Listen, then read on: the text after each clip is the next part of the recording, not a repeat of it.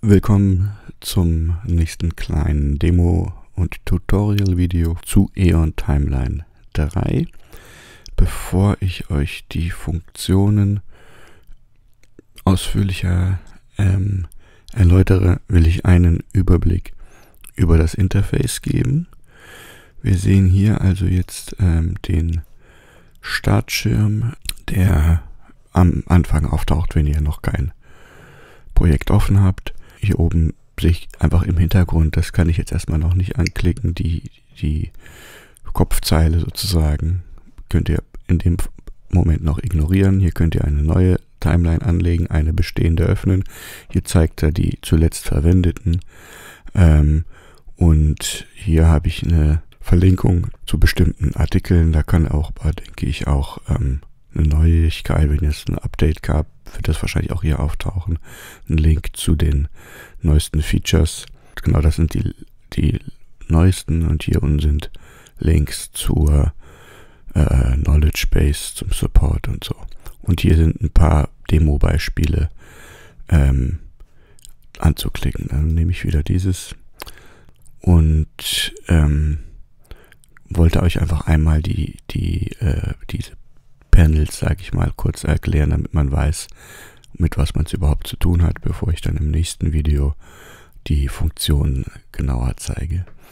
Also in der ersten Reihe hier oben habe ich Reiter, wo ich die verschiedenen Ansichten ähm, sozusagen anwählen kann. Die werde ich euch alle noch genauer erklären. Ähm, aber das ist sozusagen ganz grundlegend dann kommt hier oben rechts das Zahnrad für die ähm, Einstellungen. Ja, also die meisten Einstellungen macht man direkt von hier aus. Im Menü oben gibt es noch ein paar andere Einstellungen, aber die wichtigsten Einstellungen erreicht ihr direkt hier, weil man die häufig braucht.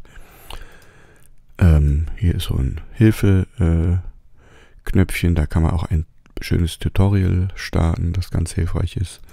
Und rechts davon ist der Inspektor.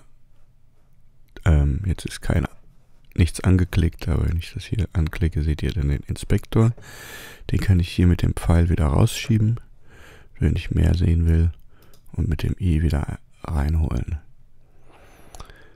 Im Inspektor habe ich hier oben, das ist so, nennt sich Identifier, das ist einfach so ein kleines, ähm, äh, so eine Zahl, die dieses Objekt immer eindeutig identifizieren lässt, ist für den Alltag nicht so wichtig, ähm, aber ähm, für bestimmte Funktionen spielt das eine Rolle.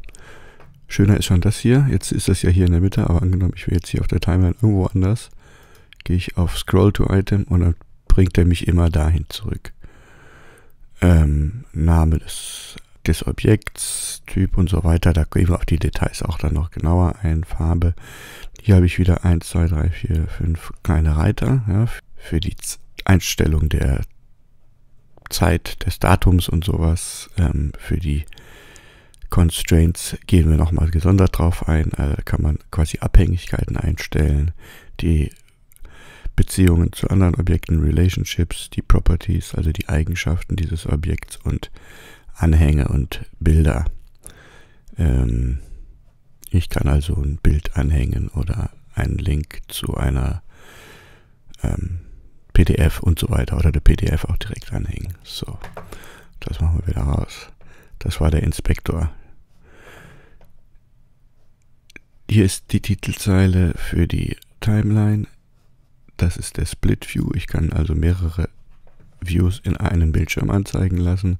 Da wird diese Zeile auch nochmal wichtig, weil die, die hier blau leuchtet, ist die, die jetzt im Moment aktiv ist. Das spielt eine Rolle. Jetzt ist die andere, ja. Split View mache ich wieder raus. Und dann habe ich hier die Seitenleiste. In der Seitenleiste ist als erstes oben ein großes Plus für Add Item. Also hier kann ich Objekte ähm, hinzufügen. Da kriege ich also alle Objekte angezeigt, ähm, die, die möglich sind. In anderen Views wird mir dann direkt nur das angezeigt, äh, was in diesem Fall vielleicht Sinn ergibt, aber hier ist ein großer Überblick. Calendar Marker ist einfach so ein äh, so eine Art Lesezeichen, womit ich bestimmte äh, Punkte auf der Timeline mir zum schnellen Zugriff markieren kann. Dann gibt es halt einfach eine Suche. Ja. Ich denke, das ist weitgehend selbsterklärend. Es gibt das Filterpanel, das erkläre ich auch nochmal genauer, aber hier könnt ihr euch eben die ganzen Ereignisse filtern und zwar entweder für alle offenen Views. Ich habt ja, ihr habt ja gesehen, ich habe eben so einen Split gemacht und da kann ich auch den einzelnen, äh, also den Filter für das, nur für den derzeit ähm, aktiven ähm, Abschnitt setzen oder für alle Abschnitte oder alle Views. Nach Farbe und so weiter, das erklärt sich weitgehend. Das hier ist für die Synchronisation mit Scrivener oder Ulysses, zeige ich auch nochmal extra. Das sind wieder diese Constraints, also die Abhängigkeiten. Ähm, grundsätzlich geht es darum, dass ich sagen kann, ein Ereignis ähm, kann zum Beispiel nur beginnen, wenn ein anderes vorher abgeschlossen ist oder so. Zeige ich in Detail. Ähm, das sind jetzt nochmal hier diese Calendar Markers, die ich eben erwähnt habe. Das heißt, hier könnte ich jetzt äh, zwischen verschiedenen Lesezeichen im Kalender hin und her ähm, blättern. Und hier unten sind es jetzt in diesem Fall, das sieht nicht immer gleich aus. Hier habe ich jetzt, also hier, grundsätzlich sind hier Objekttypen anwählbar, wie zum Beispiel Personen und Orte. Ja. Ähm, das hängt dann von dem Template ab, das ihr benutzt, beziehungsweise von euren eigenen Einstellungen, ähm, welche ihr hier ähm, sichtbar habt. Aber grundsätzlich ist das sozusagen der Schnellzugriff auf, auf Objekttypen, die nicht Ereignisse sind, sondern andere wie Personen oder so.